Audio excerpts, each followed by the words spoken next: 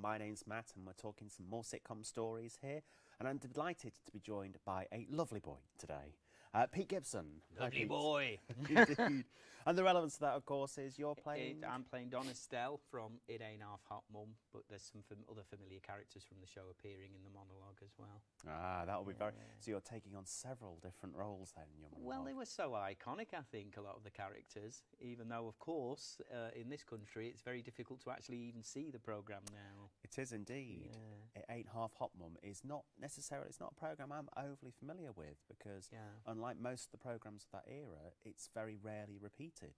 Well, it's rarely repeated because of you know uh, perceived racism within it and homophobia, um, and that's that's what I wanted to do by writing the piece is actually ask the question.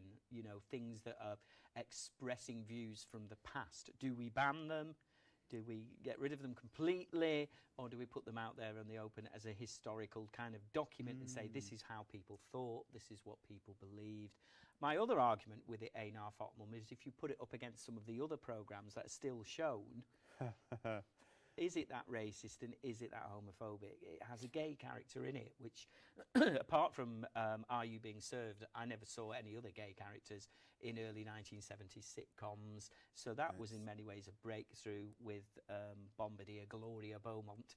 And, um, you know, I think as well, uh, the, the two South Asian actors who played the parts in Einar Fotmum had very strong views about the fact it was banned for racism because you know they were they were portraying what was happening in India and Burma at the time and that's how unfortunately South Asian people were treated during the time of the British Empire so um, while I wanted to look at the past um, wanted to make it contemporary as well At the same time, it's a difficult Mm. question to try. Well, it's not a difficult question to pose. It's a difficult question to answer as to whether we should yeah it is airbrush different things from Yeah. history. I mean, the, the chief cause of controversy is Michael Bates, who plays Rangi Ram, who's a white man blacked up, which, hmm. you know, I definitely don't agree with, and I certainly would be appalled if I saw anything made now that showed that. But then when you think about Spike Milligan, how many times he did that?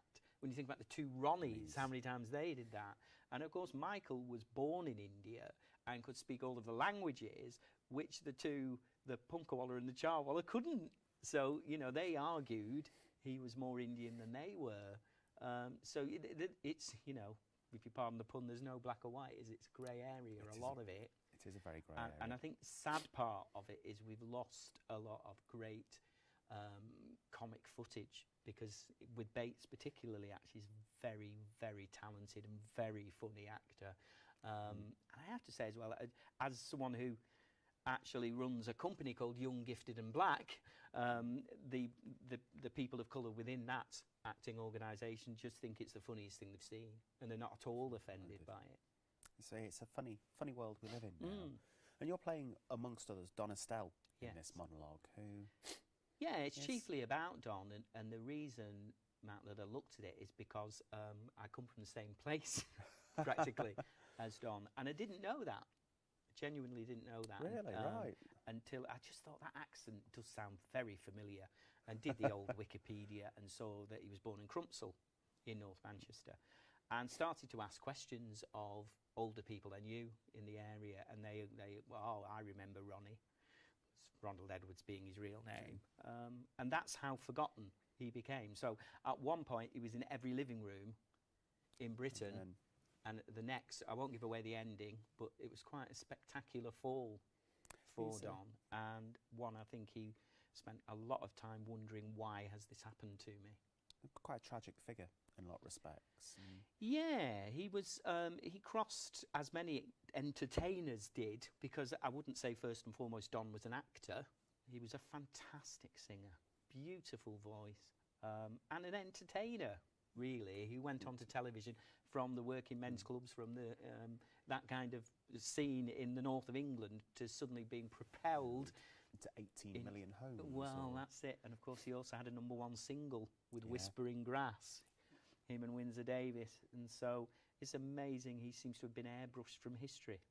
It's it's uh, my my girlfriend and her parents came to see sitcom stories. Its original Yeah. run in Yeah. Manchester, and the Don Estelle monologue was one that they obvi- obviously enjoyed all six of them, but this is one Mm. that particularly caught um, my girlfriend's mother's imagination because, as you say, Don Estelle's been airbrushed from history almost. Mm. You, you, you, the talent had all been forgotten, and suddenly it's there in front of her. And Yeah, I mean, if you want the really tragic side of it, if you actually watch Don on something, there's quite a lot of footage on YouTube of him towards the end of his life singing at um, country fairs and things like that. The voice is still there. mm, It's beautiful, this voice, but very frail, vulnerable looking man singing it. And it's, uh, it's difficult not to get emotional when you actually watch it. Um, I don't know. Th- There's another thing, of course. All the jokes were about Don's size because he wasn't even five Mm, foot. Um, I don't know whether that makes him appear a little more vulnerable than other actors from the show. But I, again, apart from Windsor Davies and the Michael Knowles, I can't really think of anyone who went from the show onto anything anything else, anything else. Yeah. despite it being a big part of our sitcom heritage as well. Yeah, I mean it's up there, isn't it? With with Are You Being Being uh, Served. and that that ilk of perhaps not with the no, I'm not going to say that. I was going to say with the quality of the good life, but yes, it has actually. Go away and look and watch it, and you can see Yeah. that th- some of the talent in it is phenomenal, and it's sad, I think, in many ways that we're we're robbing ourselves of being able to watch that Mm. because of things that have changed slightly. I, I, I personally wonder how far it will go. Are we going to stop teaching children about Vikings because they did nasty things? You know, um, this is how life was, It's- and that's what it's portraying. and it's great that it's being brought back as part of one of these six stories as Mm. well because these the six sitcom stories look behind the scenes behind the screens a little bit of the personalities the people and the stories behind each of our favourite sitcoms and do you have a favourite sitcom of your own I had a feeling you would ask me that question. uh, there's lots of different things that make me laugh, actually. Um, the sitcom that changed it all mostly for me was the young ones, which uh, i- in so Oh. many ways, because um, you know, I know Lloyd was a good friend of um, Ade and Rick, and we've just been sat in the car laughing a lot, and I, I can practically recite every line from the young ones. That's how much it changed. We've had an awful day. It's rained today, and I was sitting there saying, "What are you going to do, Vivian? Build a submarine?" You know. uh, so that was. But I like lots of different forms of comedy. Uh, work with a company called Laugh and Let Die, who do comedy shows all around the country, and that's classic ooh, uh, Mrs. type double entendre comedy. And I, I think there's something very sophisticated, oddly enough, about that. Uh, I love Frankie Howerd when he delivers a line. It, it's not the line; it's the look on his face it's the it's whole come to this, you know. It just it it's really the whole does make me package laugh. isn't it yeah But uh, Laurel and Hardy are the two that consistently make me laugh. And I was fortunate last week to be talking about Laurel and Hardy to some older folks, and they were just saying all their memories of the films. And what sums them up best for me is when they're trying to put an aerial on the roof. I don't know if you've seen that one. Uh, a radio aerial, and of course, by the end of it, they pull the entire roof down, and they're sat in a pond. And the genius of it for me is all the bricks have come down, and you keep thinking there's one more, there's one more, and at the millisecond you think, oh, maybe there isn't, bang straight on Stanley's head. It's just genius, you know. So, yeah, yeah. I'm glad Mark put them in uh, in Hancock 'cause they deserve a shout. They're fantastic.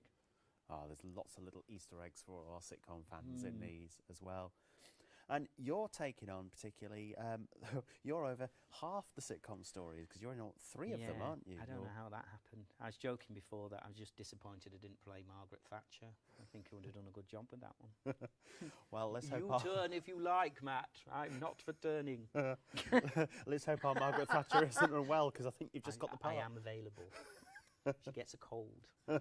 no, I, I just think the quality of the writing, and uh, I, I, don't mean this in any other way other than admiration. When I found out that this little monologue I'd written was amongst the stuff that was on, I was felt very, uh, you know, in awe really, because I think just some of the writing is just absolutely fantastic, and I think the actors, to a woman and a man, are all extremely good. So come and watch it. Absolutely. That's the message. Absolutely. Well, everyone needs to get themselves up to Edinburgh. It's an important piece, the Northern Theatre, that's going up to Edinburgh Yeah. this summer. Mhm. starting the 11th of August at Yes. Free Fringe. Yeah, going through to the 17th, and uh, I'm looking forward not only to being involved, but the whole adventure around it as Yeah, well. it's gonna be um, quite being together one. with fellow artists, actors, producers, directors, writers. the best company you can have, aren't they? It's going to be a fantastic run. and We hope Mm. everyone does come and see it as well. The 11th to the 17th at the Free Fringe in Edinburgh. There's also a Kickstarter, so there's some exclusive perks on there. So do have a look at that as well.